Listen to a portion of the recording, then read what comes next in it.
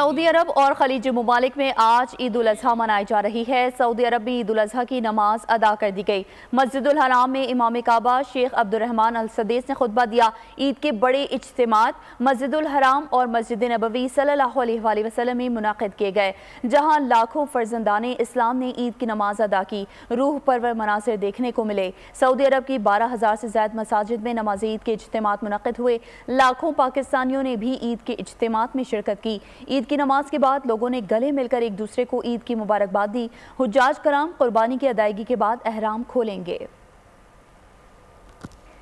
ईद का खुतबा दुनिया भर में एक अरब से ज़्यादा अफराद ने समात किया। सऊदी प्रेस एजेंसी के मुताबिक इस खुतबे का बीस जबानों में बरह रास्त तर्जुमा किया गया।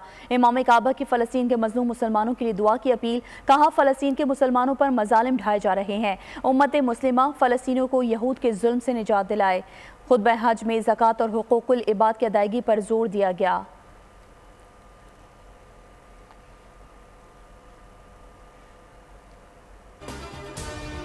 बोरी बरदरी आज ईद अजहा मना रही है। कराची में सदर की ताहरी मस्जिद में ईद उल अजहा की नमाज़ अदा की गई। नमाज़ के बाद लोगों ने एक दूसरे को ईद की मुबारकबाद दी कुर्बानी का फरीजा अदा किया जा रहा है। पिशावर में अफगान बाशिंदे भी आज ईद अजहा मना रहे हैं। पिशावर के इलाके ताजाबाद में ईद की नमाज़ अदा की गई।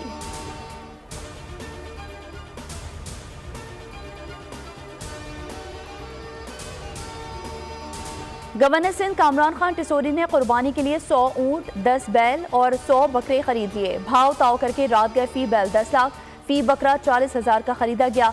गवर्नर पहले ही 100 ऊँट, तीन लाख फ़ी ऊँट के हिसाब से खरीद चुके हैं। गवर्नर सिंध कामरान खान टिसोरी ने कहा कि ईद के तीनों दिन 100 ऊँट कुर्बान करेंगे और 100 बकरे मुस्तकीन को दिए जाएँगे। ईद पर राशन भी तकसीम होगा।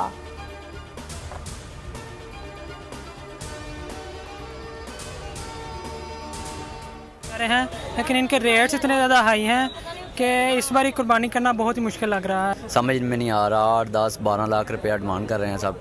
सुबह के तीन बजे के फिर रहे हैं यहाँ पर कुछ नहीं मिला अभी तक। बच्चों की ख्वाहिश होती है कि जानवर खूबसूरत से खूबसूरत अल्लाह की राह में कुर्बान करें इनकी ख्वाहिशात को मद्देनज़र रखते हुए हमने ये चार से पाँच जानवर जो है इन ईद के पहले दिन अल्लाह की राह में कुर्बान कर देने हैं। और पाकिस्तान में ईद कुर्बा में बस एक रोज़ ही बाकी। वक्त कम, मुकाबला सख्त। जानवरों की खरीदारी में तेज़ी। मुल्क भर की मवेशी मंडियों में खरीदारों का रश भाव ताव तेज। किसी को जानवर मिल गया तो किसी को तलाश जारी। शहरी महँगाई से परेशान। व्यापारी गाहक कम होने से नाला। मवेशी मंडी में एक से एक कमाल जानवर। कुर्बानी के जानवरों की सजावट का कारोबार भी उरूज पर। शहरियों ने सस्ते कसाई की भी तलाश शुरू कर दी।